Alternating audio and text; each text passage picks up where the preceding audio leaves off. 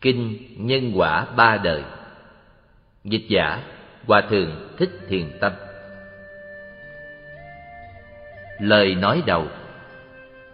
Thổi xưa, có người đến hỏi một vị thiền sư, Bậc tu hành đã ngộ lý chân không? Có lạc vào dòng nhân quả chăng? Thiền sư đáp, Bậc đại tu hành chẳng lạc vào dòng nhân quả. Vì câu trả lời này mà khiến cho thiền sư phải đọa làm kiếp chồn 500 năm. Sau gặp Ngài Bá Trường mới được giải thoát? Cũng do câu chuyện trên đây Nên các vị cổ đức khuyên người học Phật Trước tiên phải duyệt các kinh nói về nhân quả tội phước Chú trọng phần giới hành Cùng hiểu biết sự luân hồi trong ba cõi sáu đường. Sau mới nghiên cứu qua kinh cao Nếu trái thứ tự Bước đầu tiên đọc những kinh như Kim Cang, Pháp Bảo Đàn Nếu không phải là người có nhiều căn lành Tất dễ sinh lòng khinh mạng Và lạc vào lỗi chấp thông Thật ra nhân quả không phải là chuyện thấp nhỏ, Vì từ chúng sinh, đọa tam độ Cho đến chư Phật thành chính giác Đều không ngoài nhân quả. Do sự kiện trên, Bút giả mới phiên dịch quyển kinh này. Vì kinh nhân quả nói tóm tắt không mấy trang, Nên bút giả lại thêm một ít câu chuyện tạm gọi là nhân quả luân hồi tạp lục. Về việc luân hồi nhân quả ở Việt Nam ta cũng có nhiều, biết gì không ai ghi chép thành sách nên tản mát đi. Vì thế, bút giả đã tìm dịch các câu chuyện bên Trung Hoa và những việc này đều có thật. Cái thông bệnh của người tu Phật là hai luận quyền nói nhiều, mà việc thường nhỏ lại ít khi làm được. Với lại hồi xưa, cụ Khánh Hòa còn tài thế có một Phật tử hỏi về đạo lý vô thủy vô chung.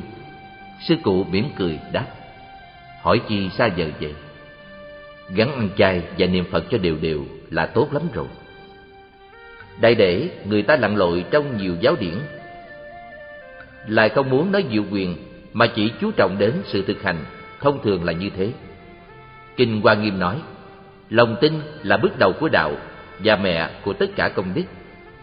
Mong những gì hữu duyên khi xem đến quyển sách này, bắt đầu tu niệm tin có tội phước báo ứng, chuyển kiếp luân hồi cùng sự linh hiển của Phật pháp. Do đó, lần lượt tiếp tục xem những kinh cao hơn.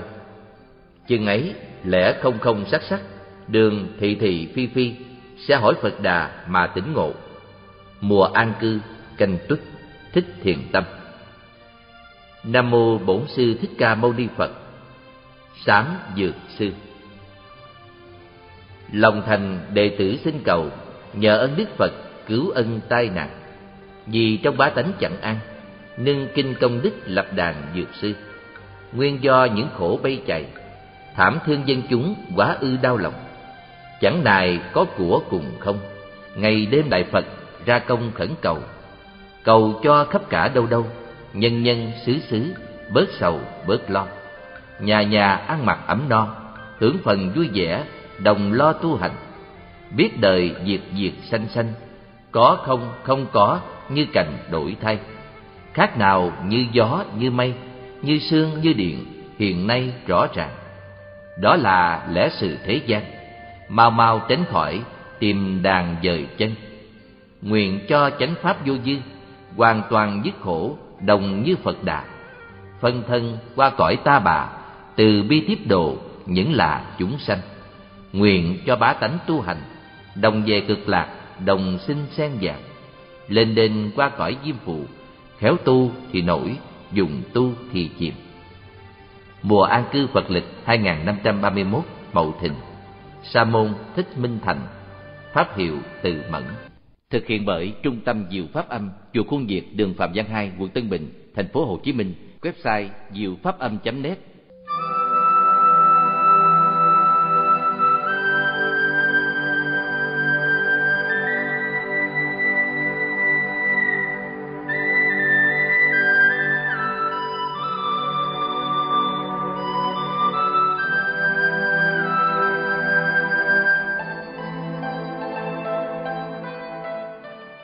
Kinh Phật nói nhân quả ba đời Một hôm, tôn giả A Nan Đà ở trên hội Linh Sơn cùng với một hai trăm năm mươi đại tỳ kheo câu hội. Khi ấy, A Nan Đà tôn giả chắp tay đảnh lễ Phật, nhiễu quanh ba vòng, rồi quỳ xuống, thưa thỉnh Đức Bổn Sư Thích Ca Mâu Ni Thế Tôn rằng Bạch Thế Tôn, đến thời mạt Pháp, tất cả chúng sanh ở cõi diêm phù đề, nhiều kẻ sanh niềm chẳng lành, không kính tam bảo, không trọng cha mẹ, không có tam căn. Năm diền rối loạn, nghèo khó thấp hèn, sáu căn chẳng đủ, trọn ngày sát sanh hại mạng, cho đến nghèo giàu sang hèn không đồng nhau. Do nhân duyên quả báo gì khiến nên như thế? Cuối sinh Đức Thế Tôn từ bi, vì chúng con giải thích mọi sự việc. Phật bảo A Nan cùng các đại đệ tử lành thai lành thai các ông hãy lắng nghe. Ta sẽ vì các ông mà giải thích rành rẽ. Tất cả nam nữ ở thế gian, giàu sang hay nghèo hèn, chịu khổ vô cùng hoặc hưởng phước vô lượng, đều do nhân duyên từ đời trước mà cảm quả báo. Cho nên tất cả chúng sanh, trước phải hiếu kính cha mẹ, kế đó phải tin trọng ngôi tam bảo. Thứ ba, nên bỏ giới sát mà phóng sanh. Và thứ tư cần ăn chay, bố thí mới có thể gieo giống ruộng phước về sau.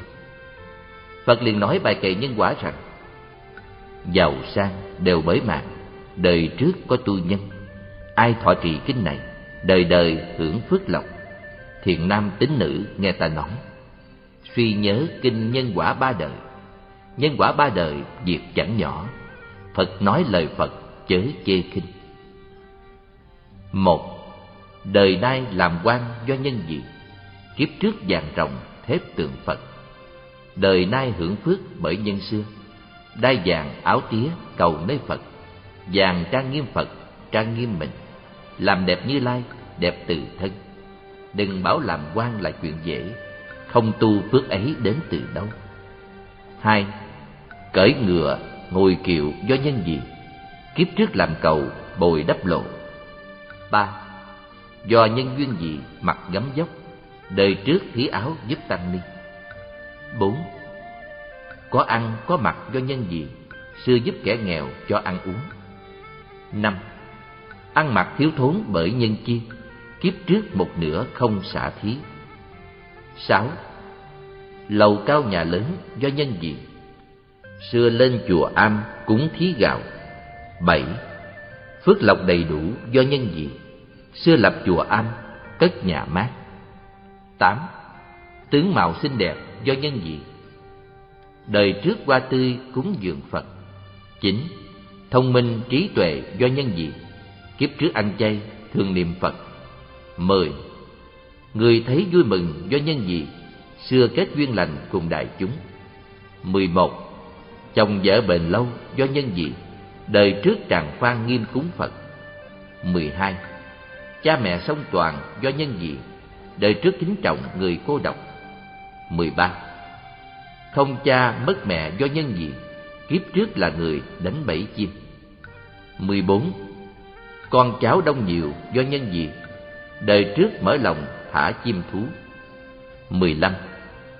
Nuôi con không được do nhân gì?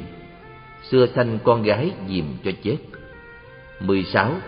Đời nay không con do nhân gì? Kiếp trước bẻ gãy hại trăm qua.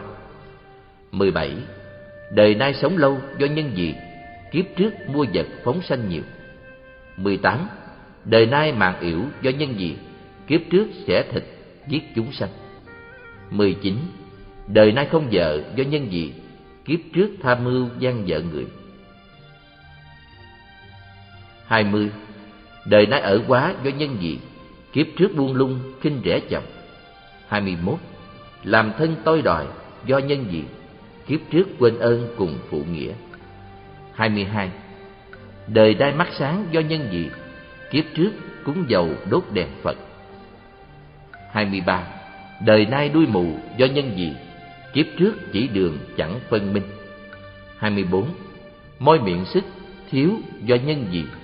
Kiếp trước thổi tắt đèn cúng Phật. hai mươi lăm đời nay câm điếc do dân gì xưa từng ác khẩu mắng cha mẹ 26. Đời nay lưng gù do nhân gì kiếp trước chê cười người lễ Phật 27. Tay bị cong quẹo do nhân gì đời trước đều là người tạo nghiệp 28. Chân bị co rút do nhân gì kiếp trước ngăn đường đánh cướp người. 29. Làm thân trâu ngựa do nhân gì? Xưa thiếu nợ người không chịu trả. 30. Đọa làm heo chó do nhân gì? Kiếp trước lừa gạt phỉnh hại người. 31. Đời nay nhiều bệnh do nhân gì? Xưa đem rượu thịt bày cúng Phật. 32. Đời nay không bệnh do nhân gì? Xưa thí thuốc men cứu bệnh nhân. 33. Hằng bị lao tù do nhân gì? Kiếp trước làm ác chẳng nhượng người. 34. Đời nay chết đói do nhân gì? Kiếp trước thường lấp hang rắn chuột. 35. Bị thuốc độc chết do nhân gì? Kiếp trước đăng lưới giết hại cá. 36. Nổi trôi cơ khổ do nhân gì? Ác tâm lấn hiếp mưu hại người. 37. Đời nay lùng bé do nhân gì? Kiếp trước xem kinh để dưới đất. 38. Nay thường thổ quyết do nhân gì? Xưa ăn thịt rồi đi tụng kinh. 39. Đời nay ngu điếc do nhân gì? Kiếp trước tụng kinh chẳng lắng nghe. 40. Ghẻ lát phong điên do nhân gì? Sông hơi thịt cá trước bàn Phật. 41. Thân có mùi hôi do nhân gì? Xưa bán hương thơm tròn dối gian. 42. Đời nay chết treo do nhân gì? Kiếp trước đem dây sang bẫy thú. 43 quan quả cô độc do nhân gì? Xưa thường ganh ghét hiềm mắng người. 44. Xét đánh lửa thiêu do nhân gì? Cân non già thiếu lòng gian xảo. 45. Rắn cắn cọp ăn do nhân gì? Kiếp trước cây quan tạo đối đầu. muôn việc mình làm lại mình chịu. Thọ khổ địa ngục quán trách ai? Đừng nói nhân quả người không thấy, xa trả con cháu, gần trả mình. 46. Chỉ nhìn trước mắt người hưởng phước, sẽ tin bố thí với trì trai. Kiếp trước tu nhân, nay hưởng quả, đời này tu tích để về sau. Nếu ai quỷ bán kinh nhân quả, kiếp sau đọa lạc mất thân người. Kẻ nào thọ trì kinh nhân quả, chư Phật Bồ Tát đều chứng minh. Kẻ nào biên chép kinh nhân quả, truyền đời tu học đạo nhà hưng. Ai mà mang đội kinh nhân quả, tai hung hoạnh quả chẳng vào thân. Nếu người giảng nói kinh nhân quả, đời đời kiếp kiếp được thông minh. Kẻ nào đề xướng kinh nhân quả, đời sau người thấy sanh cung kính. Người nào ấn tống kinh nhân quả, kiếp sau sẽ được thân đế dương. Theo kinh nhân quả hỏi đời trước, chính sự thọ hưởng của đời nay. Theo kinh nhân quả hỏi đời sau, chính sự gây nhân của kiếp này. Nếu như nhân quả không cảm ứng, do đâu Bục Liên cứu được mẹ? Người nào tin sâu kinh nhân quả, đồng sanh Tây Phương cõi cực lạc. Nhân quả ba đời, nói không hết. Thiên Long chẳng bỏ ý người lành. Nếu ngôi tam bảo ruồng phước lớn, nhân tu tuy một, hưởng muôn ngàn. Gửi kho bền chắc không hư mất, nhiều đời thọ dụng phước vô cùng. Muốn biết chân đời trước, xem sự hưởng đời nay. Muốn biết quả đời sau, xem việc làm kiếp này.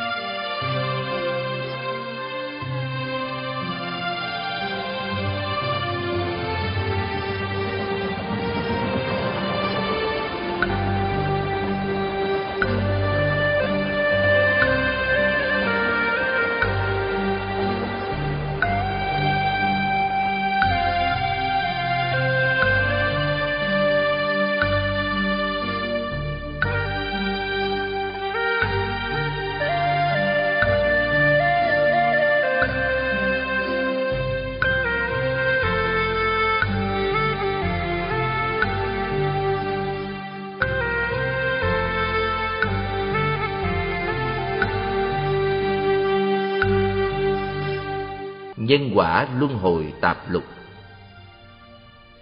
Ai nói luân hồi chuyện dẫn dơ người dê chuyển kiếp lè không ngờ. Đốt lò hương hỏi niệm xưa cũ, nghe giọng triều âm tỉnh giấc mơ. Mạnh phu nhân. Điền canh giả, quan đề đốc tỉnh quảng tây, có bà vợ là mạnh phu nhân. Bẩm tính hiền lương, nhưng chẳng may mất sớm khi điền công truyền quan ở trấn lương châu. Đêm trăng, ngồi một mình nơi nha dinh, bỗng mơ màng như vào mộng, thấy phu nhân dung mạo cực đẹp, từ trên ngọn cây phơi phới bay xuống. Công mừng rỡ, cùng nhau hỏi chuyện, hàng nguyên như thuở sanh bình phu nhân bảo, thiếp vốn là một vị thiên nữ, do tước duyên, nên trước nay làm bạn với tướng công. Nhân duyên đã mãn, lại trở về ngôi cũ nay bởi còn chút duyên thừa, nên mới đến viếng thăm. Công hỏi, tôi kết cuộc ở quan tước nào? Đáp, quan vị còn tăng không phải chỉ chừng ấy mà thôi. Hỏi, tôi thọ được bao lâu?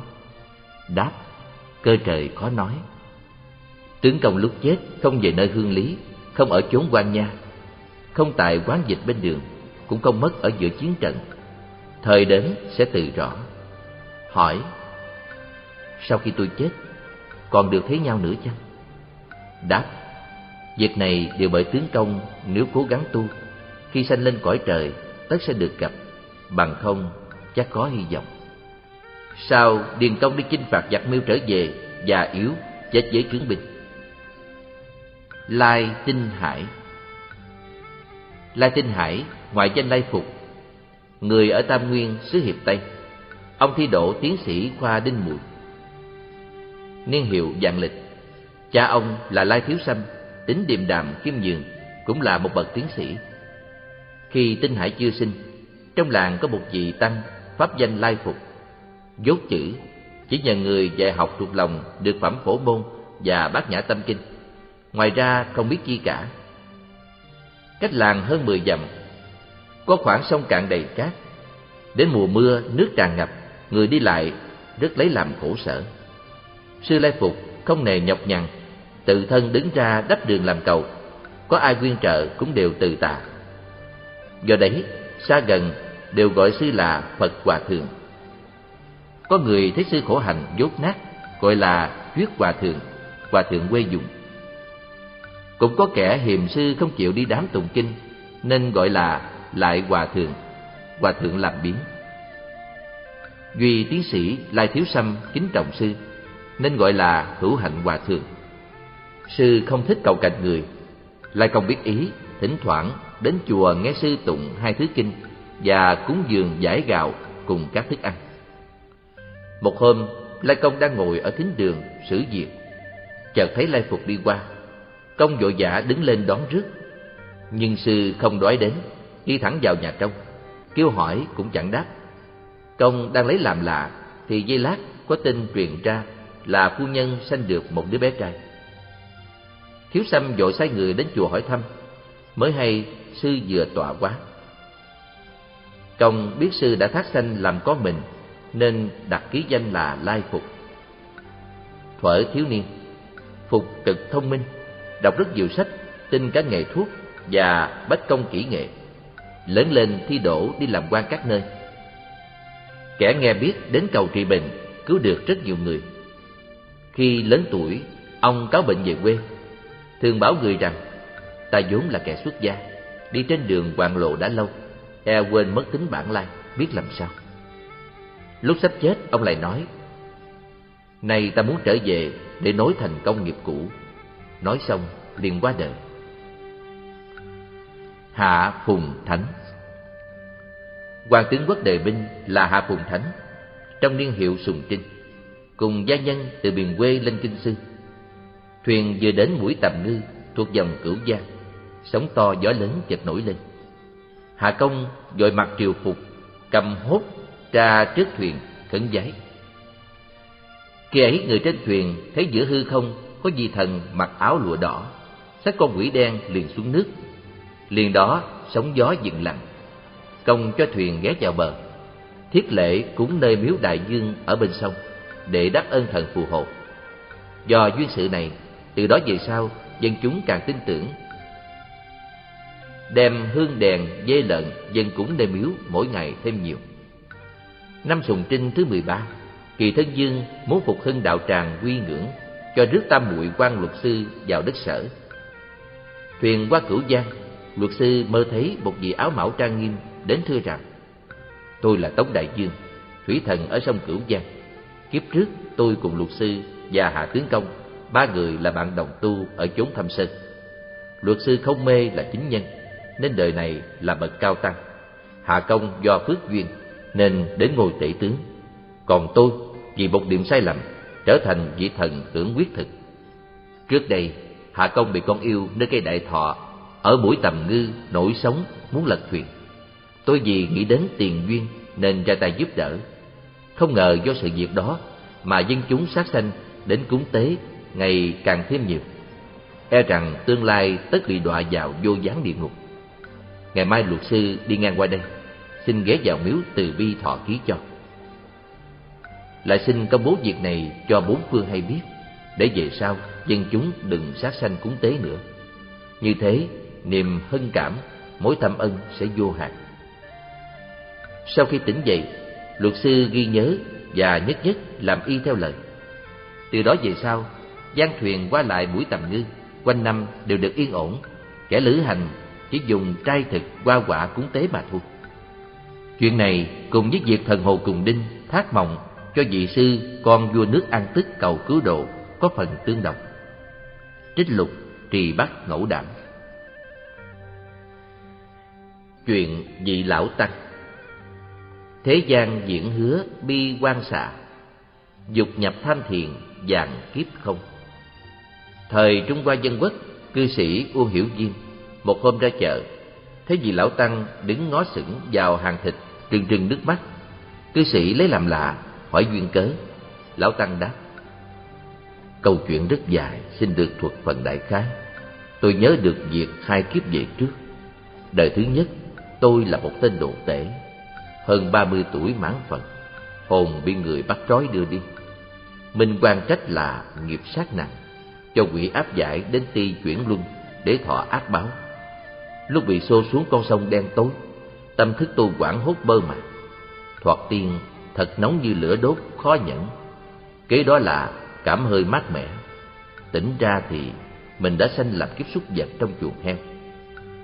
Sau khi giết sữa, thấy thức ăn không được sạch, lòng cũng biết nhàm gớm.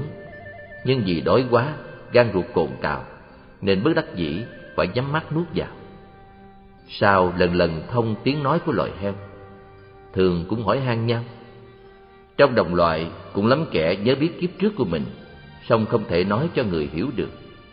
Đại để đều nhận thức mình sẽ bị giết, nên có lúc rên rỉ, đôi mắt ướt là tỏ dấu bi sầu. Loài heo thân thể thô nặng. Vào mùa hạ rất nóng khổ, Chỉ tìm dũng bùn nằm dùi mới đỡ. Song cũng không thường có được, Bởi lông thưa và cứng, Nên mùa đông lại khổ vì lạnh, Thân thể giá buốt.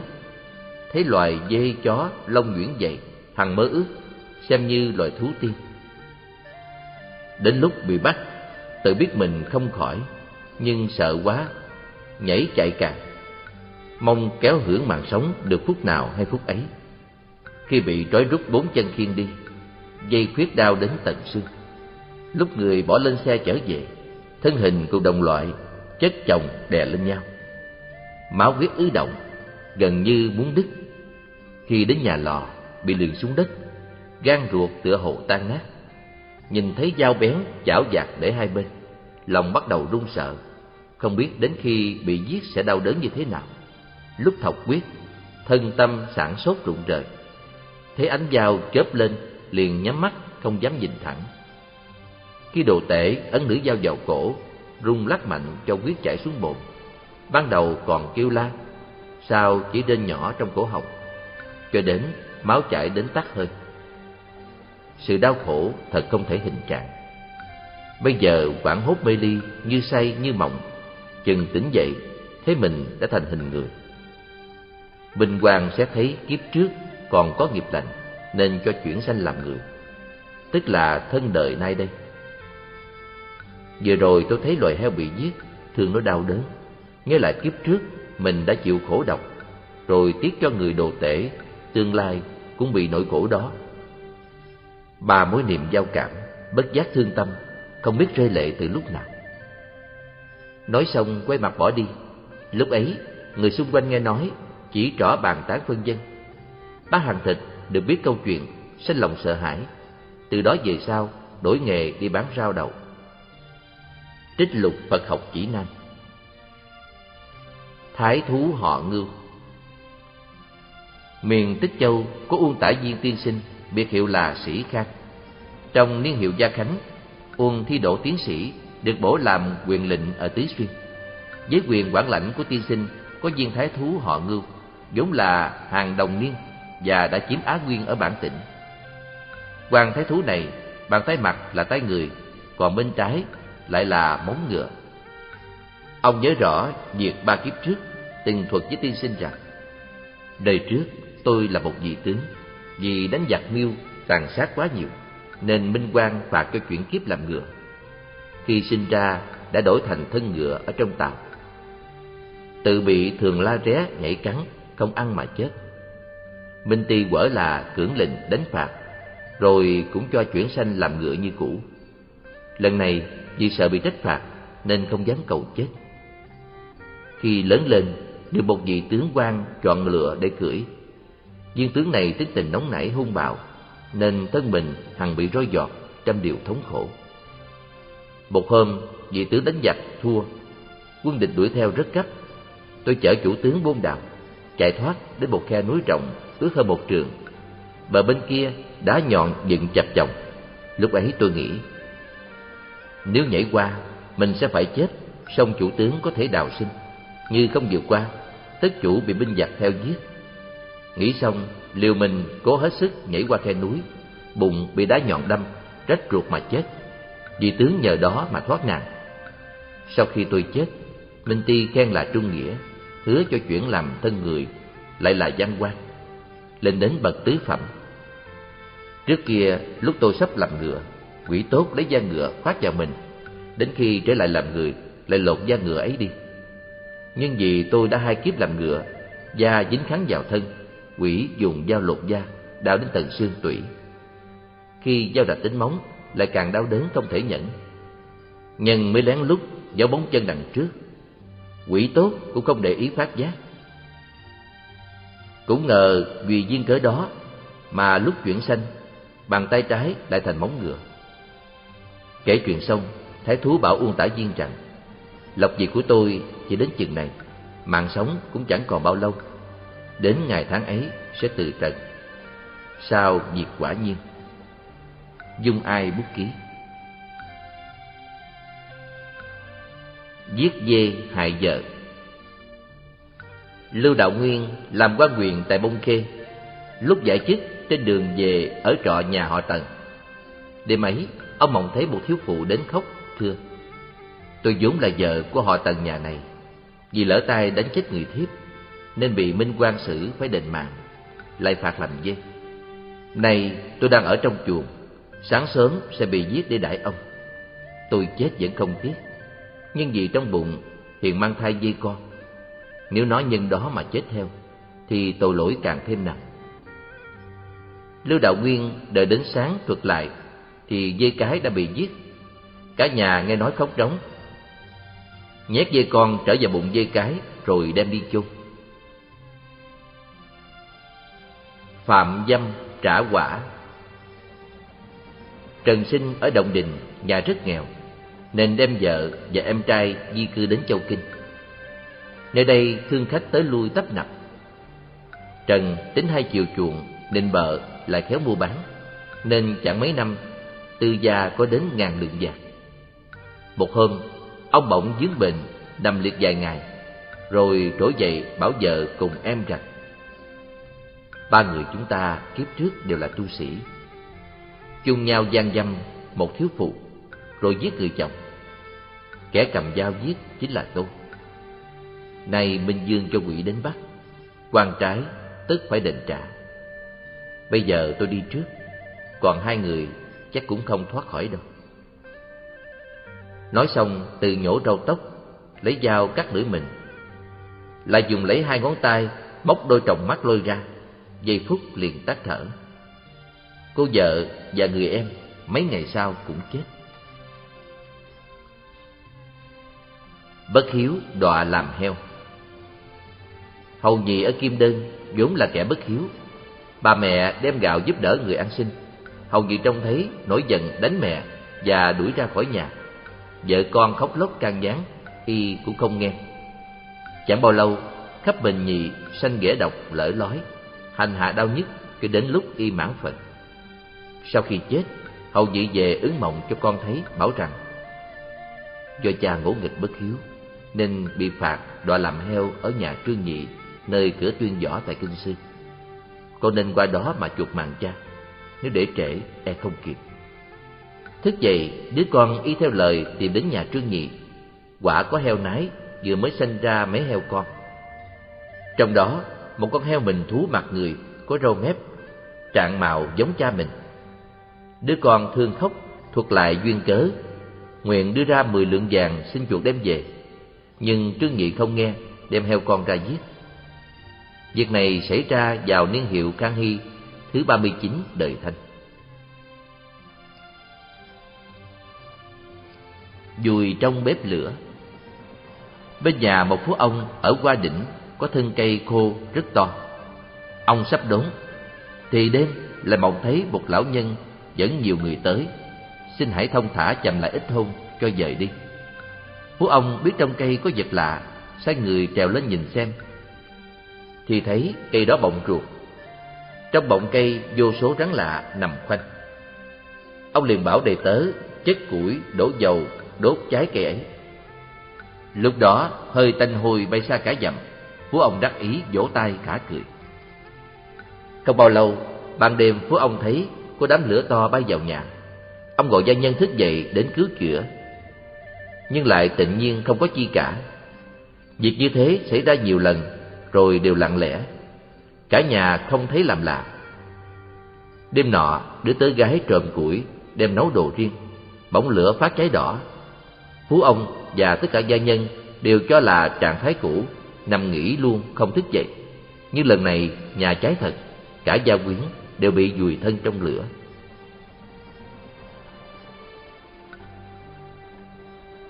Kiếp trước, hiến vàng tô điểm Phật, Đời nay làm quan, tại vì sao? Kiếp trước xây cầu đắp đường làm lộ, Đời nay cưỡi ngựa ngồi kiệu Kiếp trước, dân y cúng dường chư tăng, Đời nay mặc gấm, mặc lụa. Kiếp trước, cơm gạo bố thí người nghèo, Đời nay có ăn, có mặc. Kiếp trước, dân gạo cúng chùa, Đời nay nhà cao lầu gác. Kiếp trước, xây dựng chùa, cất nhà mát. Đời nay, trường thọ, phước lộc. Kiếp trước, hoa tươi, dân cúng Phật. Đời nay, mặt mày trang nghiêm, tại vì sao? Kiếp trước, tụng kinh niệm Phật. Đời nay, thông minh, trí tuệ. Kiếp trước, tràng phan nghiêm cúng Phật. Đời nay, vợ chồng hạnh phúc. Kiếp trước, kính trọng người cô độc. Đời nay cha mẹ song toàn. Kiếp trước, mở chuồng phóng sanh thả chim, Đời nay đông con nhiều cháu Kiếp trước, hay phóng sanh thả cá, Đời nay sống lâu Kiếp trước, khinh thường coi rẻ chồng, Đời nay quả phụ. Kiếp trước, dông ân bội nghĩa, Đời nay làm thân nô tỳ, tại vì sao? Kiếp trước, hiến dầu đốt đèn cúng Phật, Đời nay mắt sáng. Kiếp trước, chửi cha mắng mẹ Đời nay căm ngọng, tại vì sao? Kiếp trước, chê cười lại Phật, Đời nay gù lưng. Kiếp trước, thiếu nợ không trả, Đời nay làm trâu ngựa. Kiếp trước, cúng dường tam bảo, góp của phước điền, Đời nay không quan chức cũng giàu sang. Kiếp trước, hiến thuốc cứu mạng người, Đời nay khỏe mạnh, tại vì sao? Kiếp trước, ác tâm hại người, Đời nay cô đơn khổ cực. Kiếp trước giảng kinh thuyết pháp Đời nay công đức vô lượng. Kiếp trước hoa tươi dân cúng Phật Đời nay thêm đẹp đẽ dung nhan. Kiếp trước hiến giải giúp tăng ni Đời nay không mặc gấm cũng mặc lụa. Kiếp trước cúng gạo cho chùa Đời nay ở nhà cao cửa rộng Kiếp trước cứu giúp người nghèo đời nay được phú quý hiển vinh. Kiếp trước phóng sanh bất sát, đời nay con cháu đầy đạt Kiếp trước xây cầu đắp chuông, đời nay lên xe xuống ngựa. Kiếp trước kính lão cúng hiền, đời nay phước huệ thọ toàn. Kiếp trước chỉ đường dẫn lối, đời nay mọi người kính nể. Kiếp trước cúng dường chư tăng, đời nay được vợ thảo dâu hiền. Kiếp trước thù ghét hận người, đời nay nuôi con không chống lớn. Kiếp trước thông dâm vợ người, đời nay suốt đời cô độc. Kiếp trước, đời trước xem sách nhảm nhí, đời nay đôi mắt mù lòa. Kiếp trước, đâm thọc nhiều chuyện, đời nay ói máu lên láng.